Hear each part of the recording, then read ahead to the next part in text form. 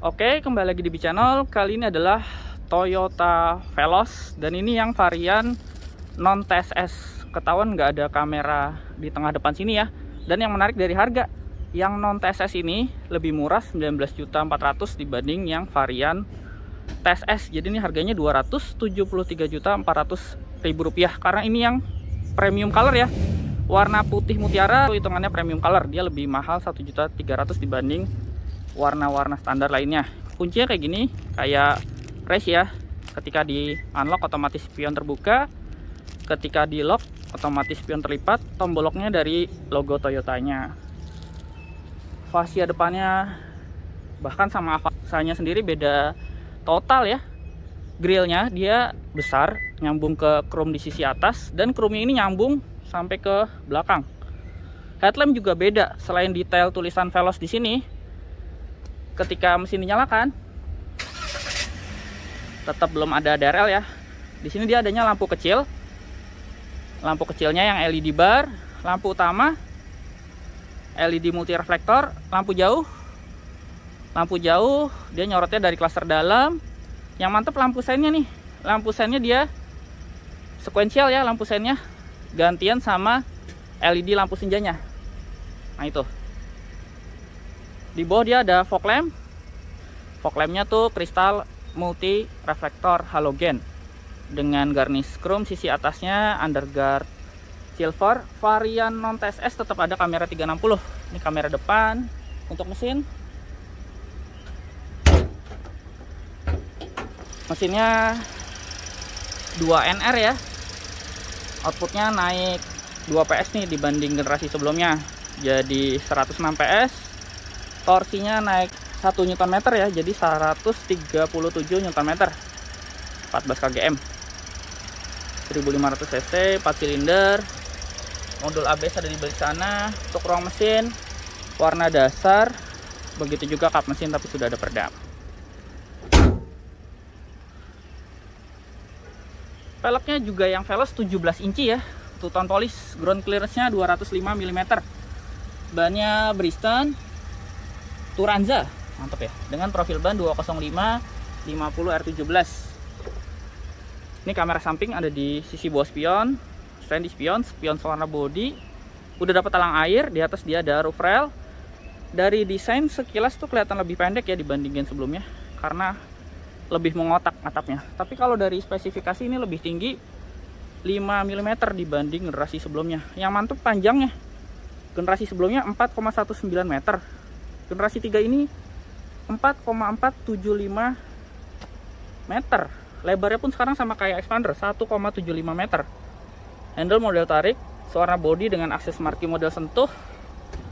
Untuk interior tuton ya. Bahan di sini dia hard plastik yang soft touch itu di armrest yang mantap di sini tuh ada ambient light yang warna biru ini ya door handle di sini chrome aksen di sini karbon power window auto sisi driver electric mirror yang sudah electric track dan auto folding. Di sini ada window lock di bawah ada speaker cup holder dan door pocket. Transmisi Matic dengan footrest karpetnya juga ada bordiran veloz untuk buka kap mesin dari sini yang ini laci penyimpanan terbuka. Ada stability control cuma belum ada pre collision system ya. Kalau yang non TSS ini ada cup holder kisi AC tengahnya chrome bahan dashboard standar ya hard plastik. Dan juga ada animasinya nih. Ketika di mati nyalakan kayak gini nih animasinya.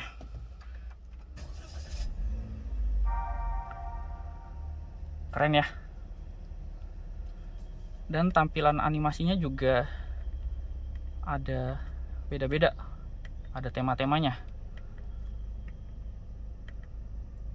Jam digitalnya yang ini tampilannya kayak gini. Ketika diganti tema yang ini jam digitalnya beda termasuk animasinya ya ketika di mati nyalakan. Tapi animasi yang lainnya mirip-mirip sama kayak race ya yang beda cuma yang tema tadi aja di sini dia ada jam digital dengan tampilan analog ada sisa BBM, rata-rata konsumsi BBM, real time konsumsi BBM, sisa BBM. Untuk setting dia ada display brightness, ada jam tanggal, ada desain. Ini ada desain 4. Ada juga desain 1 sampai ke tampilan jam ya menyesuaikan. Kayak gini. Dia juga ada display setting. Eco indikator rata-rata konsumsi BBM yang otomatis reset habis isi ulang begitu juga trip A yang otomatis reset opening display ending display juga bisa di setting menampilkan eco ya. Steering angel display. Drive mode guide jadi di sini drive mode-nya tuh ada power atau eco. Ini eco untuk power dia ring speedonya berubah jadi orange ya. Ini untuk warning suara lampu sein dia ada tiga pilihan ya. Dan opening soundnya juga bisa diatur notifikasi untuk pengingat hari lahir, termasuk untuk interval service. Di sini ada pengaturan kendaraan untuk door lock. Bisa mengikuti kecepatan ketika posisi persneling pindah. Ini untuk unlock. Suara alarm, wiper otomatis nyala ketika gigi mundur, menyesuaikan kecepatan bisa diatur. Lampu sen yang otomatis menyala tiga kali ya ketika disentuh tuasnya. Brightness. Termasuk ada lampu kabin yang mengikuti bisa diatur dari welcome lamp. Maintenance setting untuk penggantian oli. Ini untuk oli reset setting bahasa bisa diatur dari sini. Speedonya tuh yang layar kalkulator yang TFT itu takometernya ini juga animasinya beda lagi ya ketika dimatikan dan ini info eco score-nya yang tadi bisa di on off. Pengaturan tadi dari tombol di kiri ini juga audio steering switch. Di kanan dia ada audio steering switch juga. Semua tipe belum ada cruise control ya. Saklar headlamp dia sudah auto terintegrasi fog lamp. Di kiri ada saklar wiper yang sudah intermittent, setir dilapis kulit. Untuk pengaturan setir, dia tilt teleskopik lengkap. Mantap ya. Head unit juga di sini yang model floating. Lengkap nih. Ada Android Auto, Apple CarPlay dan pengingat tanggal ganjil genap.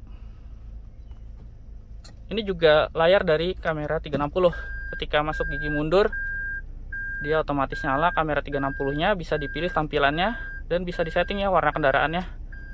Jadi supaya matching sama warna eksterior dan dia otomatis juga nyala ketika ngesen sen kiri kamera kiri sen kanan kamera kanan. Di sini ada USB ada radio audio picture telepon air case ini ada untuk pengaturan bluetooth wifi suara display brightness wallpaper bisa diatur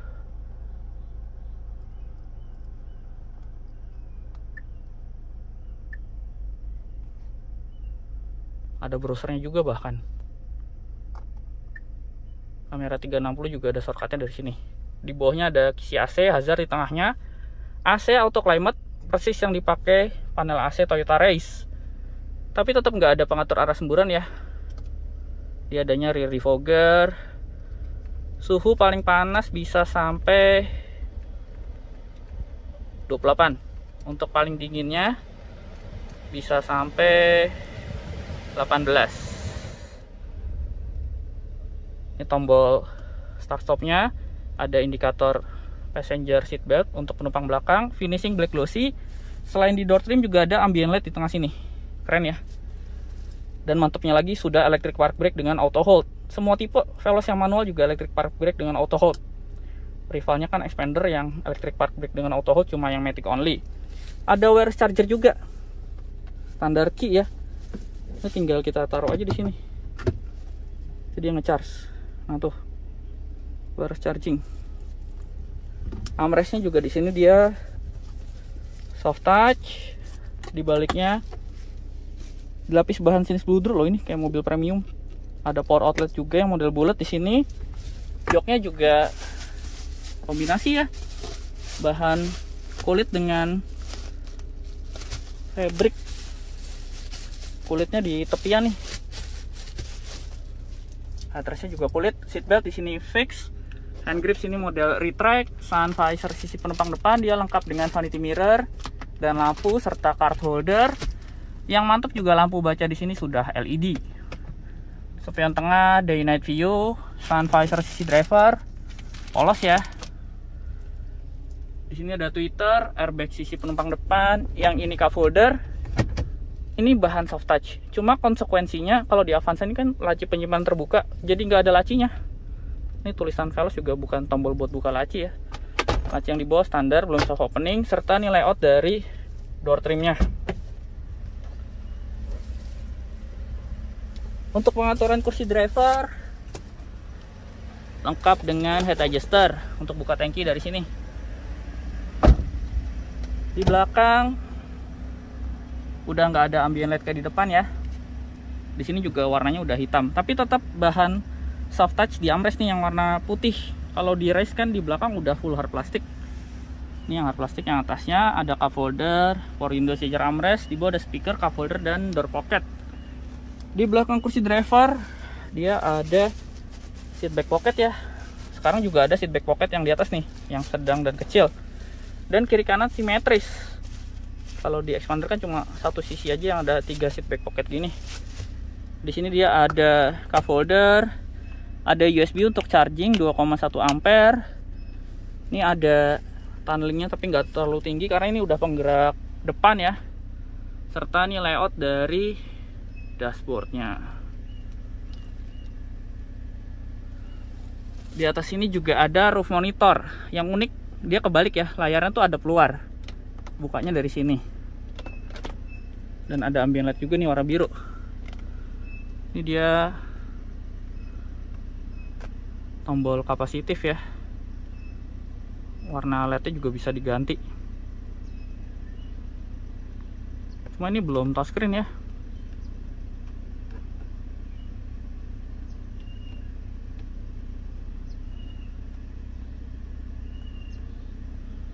dan double blowernya modelnya lebih terintegrasi. Sekilas kayak rear air sirkulatornya Kalia tapi ini beneran dingin.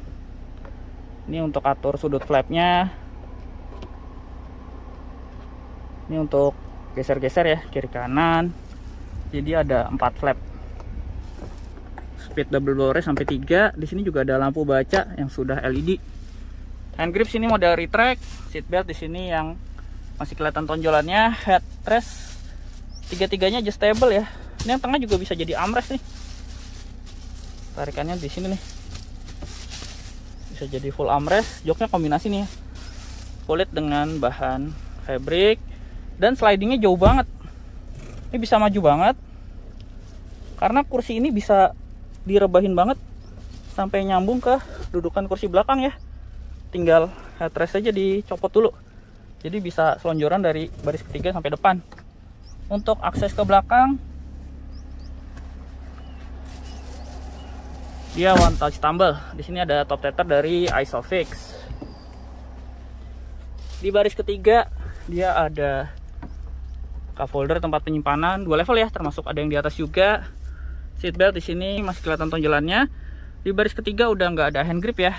Headrest adjustable pelipatan kursi 50-50 duduk di baris ketiga. Ini tadi posisi mundur jadi ngepas. Cuma karena slidingnya jauh ini fleksibel aja. Majuin segitu masih lumayan.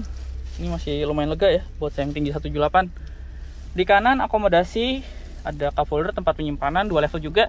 Cuma di sini lebih lengkap ya karena ada power outlet. Di sini ada seat belt tiga titik untuk penumpang tengah baris kedua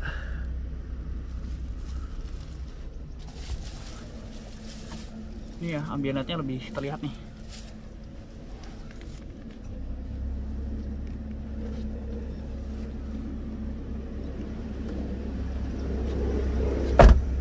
Untuk rem belakang cakram. Ini khusus Veloz ya. Kalau Avanza rem belakangnya masih tromol. Yang cantik desain stop lamp. Dia LED barnya nyambung dari kiri ke kanan. Yang ketika direm di sini ada LED titik dan ada mount stop lamp. Untuk lampu sein lampu seinnya tuh LED titik di sini. Dan untuk lampu mundur lampu mundurnya juga LED di sini. Jadi stop lampnya tuh full LED. Ini juga yang membedakan sama Avanza ya, dia kalau Avanza nyalanya nggak sampai ke emblem Toyota di sini. Di atas lengkap nih rear wiper, rear defogger, antena shark fin. Tipenya tipe key ya. Jadi ada key CVT dan key CVT TSS. Di bawah ada sensor parkir. Desain bumper juga beda sama Avanza. Dia reflektornya ada di kiri kanan bumper. Ada underguard warna grey.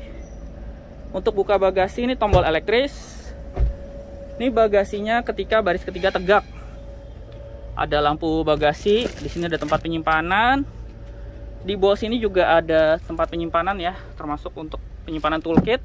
Akses ke ban serep dari sini bautnya. Dan kursi belakang bisa dilipat 50-50. Rata bagasi ya ketika terlipat. Muffler ada di kanan ban serep ada di bawah sini. Ini desainnya dari belakang secara overall. Ini ya tadi tarikan window line chrome-nya yang nyambung sampai ke belakang. Dari sisi penumpang depan juga ada akses marki di sisi penumpang depan juga ada USB untuk charging 2,1 ampere ini juga nggak ada di Avanza nih di bawahnya juga ada tempat penyimpanan serta nih layout dashboardnya dari sisi penumpang depan. Oke, sekian video saya mengenai Toyota Veloz tipe Key CVT non TSS. Terima kasih sudah menonton.